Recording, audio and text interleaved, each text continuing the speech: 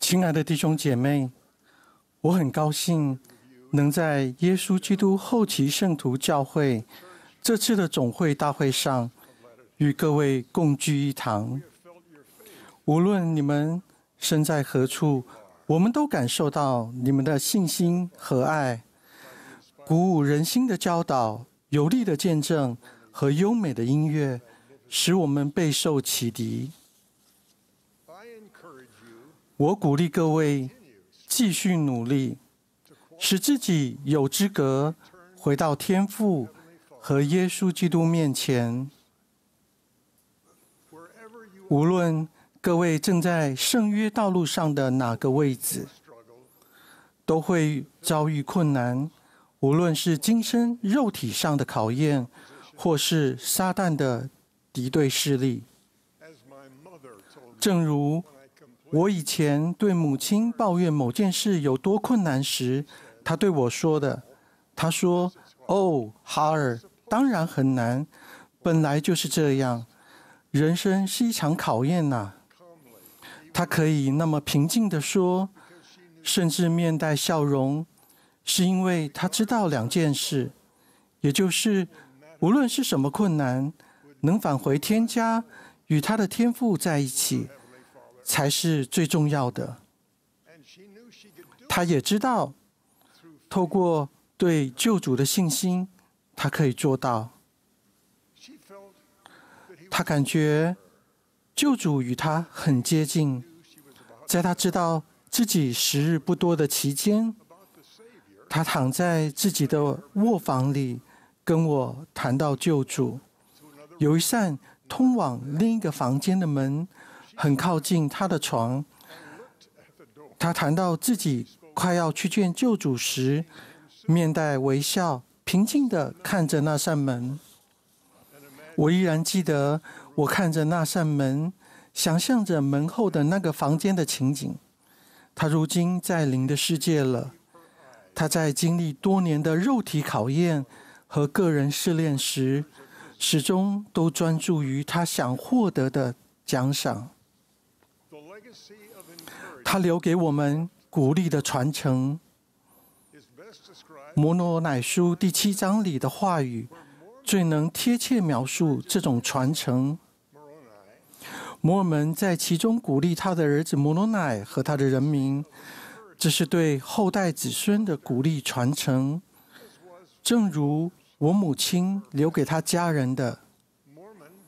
摩尔门把那项鼓励的传承传给所有下定决心要通过城市考验而使自己配得永生的人。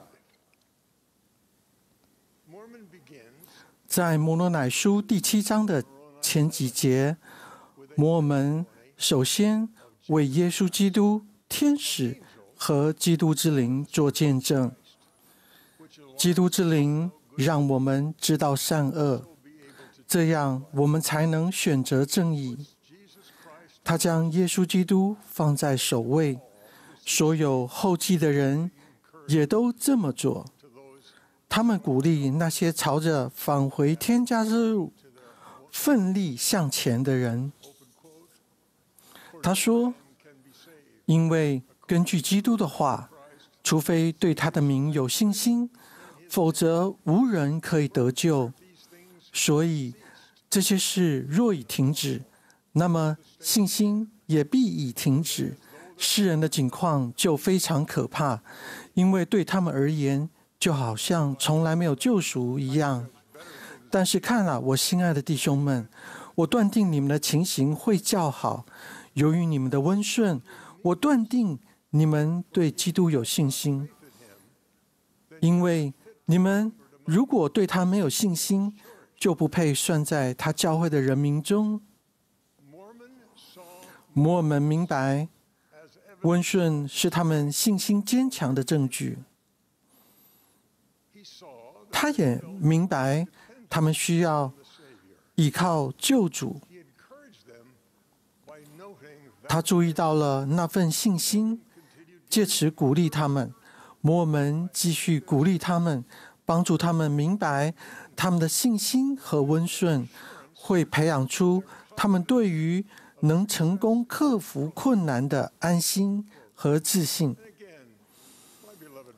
我心爱的弟兄们，我要再次跟你们谈谈希望。除非你们怀有希望，否则怎么得到信心呢？你们应当希望什么呢？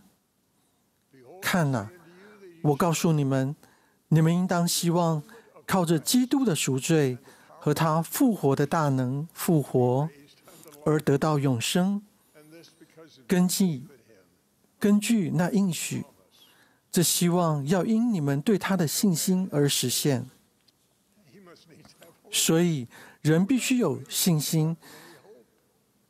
人若要有信心，就必定要有希望，因为没有信心，就不会有任何希望。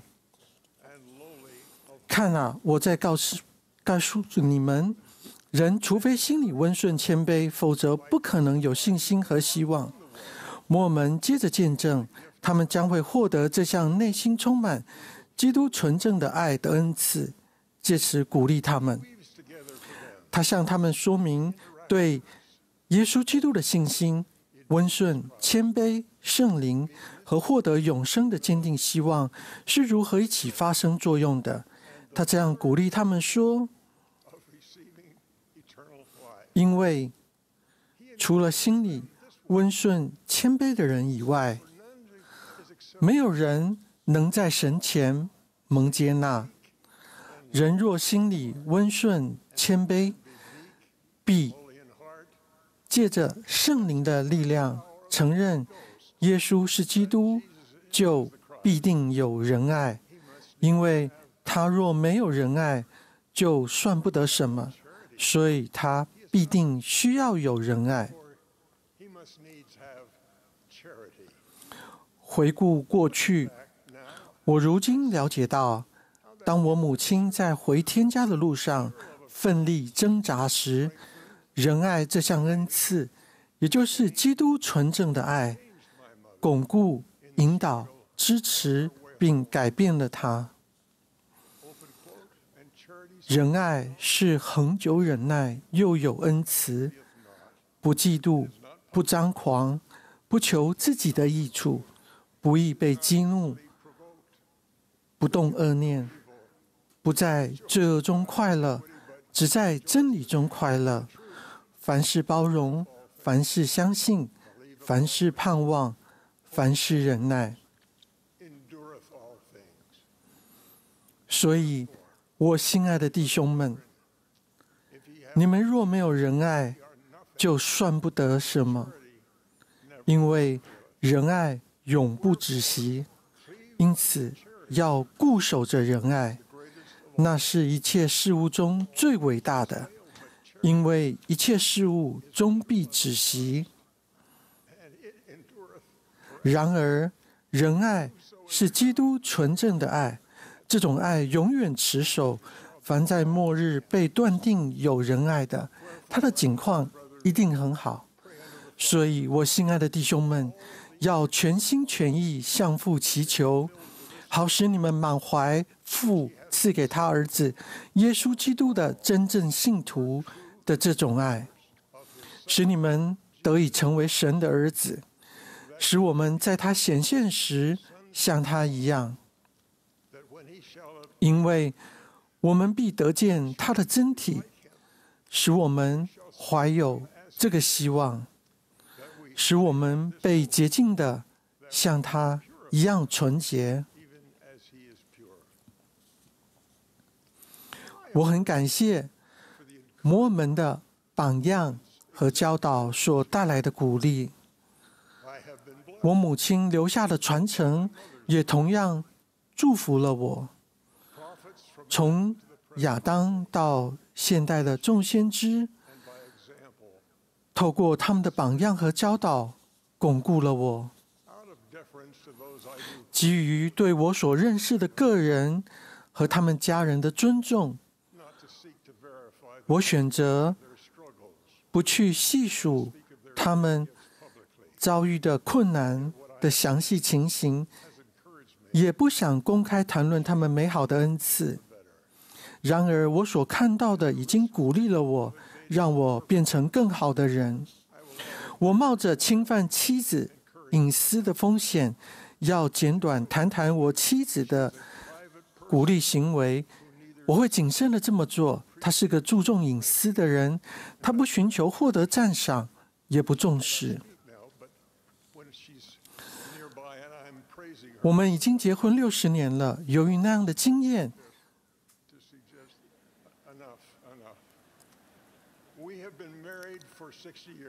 下列这些经文词汇，像是信心、希望、温顺、持守、不求自己的益处、喜欢真理。不计算人的恶，最重要的仁爱，我现在都已经明白他们的意义了。